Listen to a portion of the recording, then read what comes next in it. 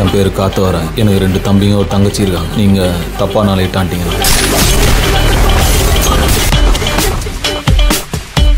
he smarter than I thought எங்க போயிடுவான்? புடிச்சுக்கலாம்.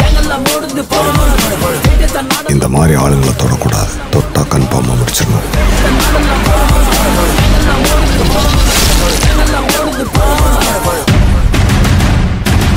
நான் பயங்கரமா ஆர்கியூ பண்ணி வாய்தா வாங்கிட்டேன் மேடம் கேக்கல. சத்தமா?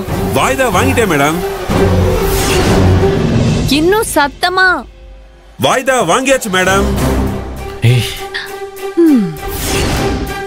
very good lawyer sir very good நியாயமும் தர்மமும் நம்ம பக்கம் தான் இருக்குன்னு நீங்க நிரூபிச்சிட்டீங்க.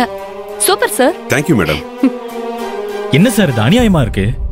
இப்படி அந்த ஆளுக்கு வாய்தா மேல வாய்தா கொடுத்துட்டே இருந்தா எப்ப சார் இந்த கேஸ் முடியறது? ஏகாம்பரத்தோட ஹெல்த் கண்டிஷன் சரியில்லைன்னு டாக்டர் சர்டிபிகேட் எல்லாம் காட்டி வாய்தா வாங்கிட்டாங்க சார். அது எப்படி சார் முடியும்? பணம் இருந்தா எது வேணாலும் முடியும்.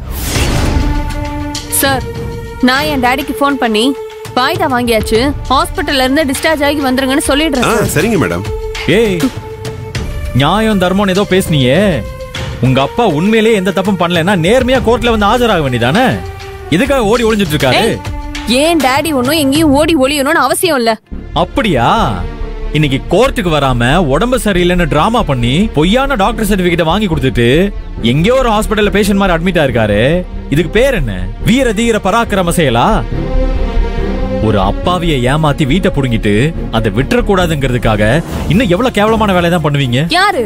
யார் கேவலமான வேலையை பண்ணிட்டு இருக்கிறது? நீ தான் பண்ணிட்டு இருக்க.